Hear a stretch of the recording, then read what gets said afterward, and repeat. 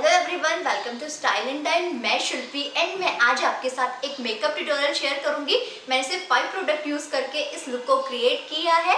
इस लुक को क्रिएट करना बहुत इजी है। आप इसको पाँच से छः मिनट में आराम से क्रिएट कर सकते हैं। एंड आप इस लुक को ऑफ़िस में कॉलेज में डेली में कहीं भी कैरी कर सकते हैं। इवन टीनेजर्स के लिए भी ये लुक काफ़ी हेल्पफुल होगा। बिकॉज़ इसमें बहुत सारे ऐसे कुछ प्रोडक्ट यूज़ नहीं हुए हैं।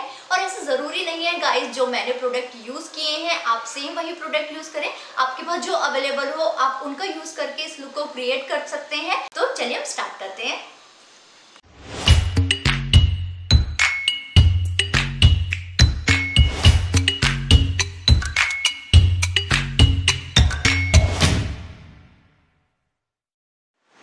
सबसे पहले हम फेस को मॉइस्चराइज करेंगे। फेस को मॉइस्चराइज करने के लिए मैंने यहाँ पे ये लेकमी 95 एक्वा एलोवेरा जेल लिया है गाइज़ ये जेल काफ़ी लाइट वेटेड है एंड फेस पे लगने के बाद बिल्कुल भी स्टिकी नहीं होता है एंड अगर आपके पास प्राइमर नहीं है तो इसको हम एज अ प्राइमर भी यूज़ कर सकते हैं बिकॉज़ इससे जो मेकअप है वो इजिली ब्लेंड हो जाता है एंड uh, कोई भी पैचेस नहीं पड़ते हैं।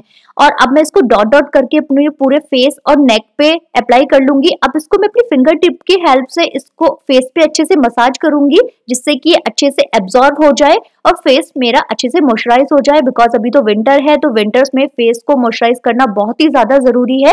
फेस मेरा अच्छे से मॉइस्चराइज हो गया है, अब उसके दो मिनट बाद मैं अपना फाउंडेशन या क्रीम अप्लाई करूँगी। दो मिनट हो गए हैं, अब मैं यहाँ पे मेरे पास दो ऑप्शन है, एक लेकमी सीसी क्रीम और फिटमी फाउंडेशन तो मैं यहाँ पे फिटमी फाउंडेशन यूज़ करूँगी बिकॉज़ मेरे को फाउंडेशन यूज़ करना ज़्यादा अच्छा लगता है। एक तो फाउंडेशन से कवरेज अच्छा आता है एंड एक पूरा दिन हमको रहना होता है तो वो हमारे फेस को ग्लो भी करता है। यहाँ पे मेबलिन फिटमी फाउंडेशन लिया है। इसमें जो मेरा शेड है वो टू थ्री फाइव है प्योर बेज कलर उप्स थोड़ा ज़्यादा निकल गया है। एक्चुअली इसमें एप्लीकेटर नहीं होता है तो कभी कभी फाउंडेशन थोड़ा ज़्यादा आ जाता है। अब इसको हम डॉट डॉट करके पूरे फेस पे अप्लाई कर लेंगे। अंडर आईज आईलेट बिकॉज़ हम कोई कंसीलर uh, यूज़ नहीं कर रहे हैं तो इसी से dark circle and dark spot cover करेंगे। अब इसको डैपिंग मोशन में हमें ब्लेंड करना है। पहले हम डॉट डॉट करके पूरे फेस और नेक पे अप्लाई कर लेंगे। नेक पे इसको अप्लाई करना ना भूलें। इसको हमें स्प्रेड uh, करने के हमारे पास तीन ऑप्शन है। फिंगर टिप से भी कर सकते हैं ब्रश से भी कर सकते हैं, लेकिन मैंने यहाँ पे इसको ब्यूटी ब्लेंडर से किया है। ब्यूटी ब्लेंडर कभी भी ड्राई यूज़ नहीं करना चाहिए। उससे जो हमारा फाउंडेशन है वो अच्छे से ब्लेंड नहीं होता है। पहले मैंने इसको वेट कर लिया है। अब इसको पूरा सोक कर लेंगे अच्छे से। तब इसको हम ब्लेंड करेंगे बिकॉज़ इससे जो फाउंडेशन है वो स्मूथली ब्लेंड भी होता है स्मूथली ब्लेंड भी होता है एंड जो फिनिश है वो बिल्कुल नेचुरल आती है। इसको हमें डैमेज मोशन में ही ब्लेंड करना है। मतलब इसको हमें रब नहीं करना। अगर रब करेंगे तो क्रीज लाइन हो जाती है एंड जो फाउंडेशन है, उसका ग्लो भी अच्छा नहीं आता है। इसको डैप डैप करके पूरे फोरहेड पे आईज पे नेक पे अच्छे से मैं ब्लेंड कर लूँगी, जिससे कि कोई भी पैचेस ना पड़े और जो मेकअप है, वो बिल्कुल नेचुरल लगे। बिकॉज़ जब तक हमारा डैप डैप करके अच्छे से नहीं करेंगे, तब तक हमारा एकदम नेचुरल लुक नहीं आगे आएगा। हमारा ये फाउंडेशन अच्छे से ब्लेंड हो गया है। अब इसको सेट करने के लिए मैंने यहाँ पे एनवाई बे का कॉम्पैक्ट यूज़ किया है। इसमें जो मेरा शेड है वो लिली वाम बेज लुक है। ये with S P F forty है तो इसमें हमें सनस्क्रीन लगाने की भी ज़रूरत नहीं है। ये काफ़ी अच्छा कॉम्पैक्ट है। इसको भी मैंने डेबिंग मोशन में अपने पूरे फेस और नेक पे अप्लाई कर लिया है। इसको भी हमें रब नहीं करना है।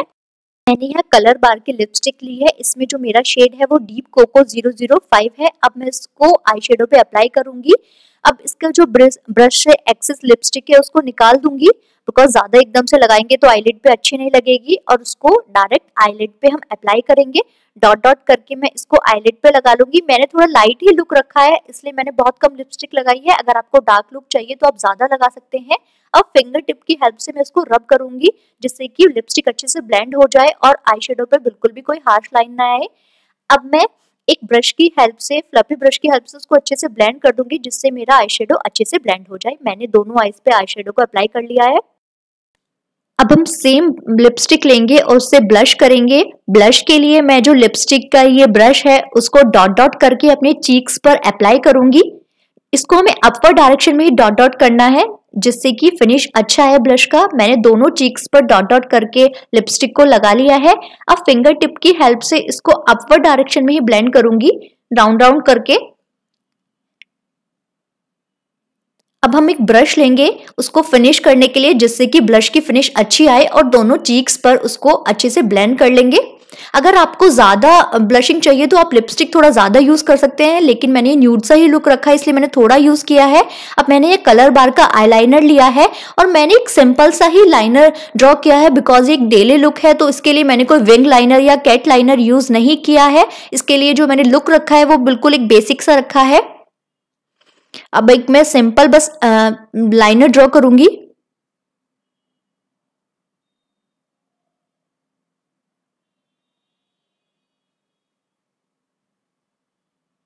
मैंने दोनों आईज पर लाइनर को लगा लिया है। अब मैं सेम लाइनर को लूँगी और उसको एज अ मस्कारा यूज़ करूँगी। मस्कारा के लिए मैंने यहाँ पे ये स्पूली ब्रश लिया है। स्पूली ब्रश को मैं जो ये लाइनर का हमारा एप्लीकेटर है, इस पे रब करूँगी जिससे कि जो लाइनर है वो अच्छे से ब्रश पे आ जाए। कारा लग जाए तो मैंने इसको रब कर लिया है पूरे ब्रश पर। अब मैं इसको अपने आई पर लगाऊँगी। मैंने थोड़ा सा ब्रश पर फिर लिया है एंड सेम मैं दूसरे आई पर इसको लगाऊँगी। अब मैं सेम स्पूली ब्रश से आईब्रोज को फिल करूँगी। उसको बहुत ही लाइट फिल किया है। अगर हम ज़्यादा फिल करेंगे तो लुक ज़्यादा अच्छा नहीं लगेगा, क्योंकि ये जो मैंने पूरा लुक रखा है, बहुत ही लाइट रखा है। अब हम सेम स्पूली की हेल्प से दूसरे आईब्रोज को भी फिल कर लेंगे। अगर आपको डार्क आईब्रोज चाहिए तो आप डार्क भी इसको फिल कर सकते हैं। मैंने काजल नहीं लगाया है, क्योंकि मुझे काजल नहीं पसंद है, वरना आप सेम लाइनर की हेल्प से काजल को लगा सकते हैं। अब मैं लिपस्टिक को अप्लाई करूँगी। मैंने सेम कलर बार की लिपस्टिक ली है।